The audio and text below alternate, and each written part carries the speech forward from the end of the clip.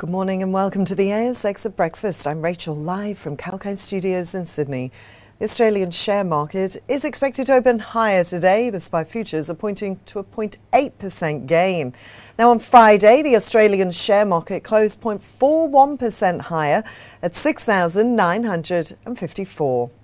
In business news from this morning, Genex Power's wholly owned subsidiary has today entered into a 25 year solar power purchase agreement for the Bulli Creek Solar and Battery Project with a wholly owned subsidiary of Fortescue Metals.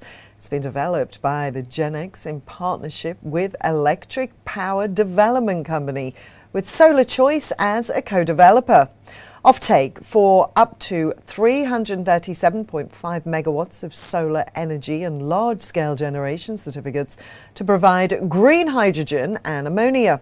Commitment enables Genex and J Power to confirm solar as the first stage of the BCP. Fonterra Cooperative Group today raised the 2023 to 2024 season forecast farm gate milk price range to $6.50 and $8 per kgms, with a new midpoint of $7.25 per kgms, up 50 cents. Fonterra's CEO, Miles Hurrell, says the improved outlook reflects both supply and demand dynamics. He says here in New Zealand, they're forecasting collections to be slightly below last season, while aggregate milk growth in key export countries is expected to be below average for financial year 2024. The El Nino weather pattern may have further impacts on supply, and this could be driving recent buyer sentiment.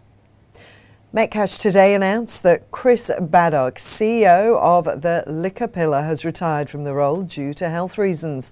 Since joining Metcash in 2019, Chris has overseen enormous growth in the liquor pillar, with sales increasing almost 40% over the past three years. The growth has been across all key areas of the business, including sales to retail and on premise customers, and in owned and exclusive brands. John Barakat, the Liquor Pillars General Manager of Merchandise and Operations, will lead the liquor team while the company overtakes an extensive search for a successor. Let's take a break now. I'll be back very soon with more news set to affect your trading day. Build better relationships, get connected, heard, and noticed. We always believe in getting you the best. Kalkine Media's growing platform, Kalkine TV, helps you connect to an inquisitive audience from across the globe. Interact in a trusted environment. Showcase your brand on Kalkine TV in a seamless and effective manner. We connect and curate content as per your business needs. So why wait? Write to us at guestteam at kalkine.com.au.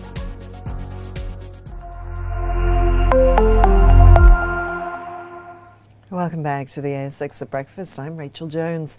The Dow Jones Industrial Average gained 0.87%. The S&P 500 added 1.18%.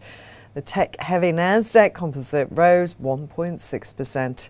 European markets closed higher. London's FTSE added 0.58%. Frankfurt gained 1.06% and Paris closed 0.88% higher. With Asian markets, Tokyo's Nikkei lost 0.26%, Hong Kong's Hang Seng gained 1.58%, while China's Shanghai Composite was closed. That's the latest from the ASX at Breakfast. I'm Rachel, signing off for now.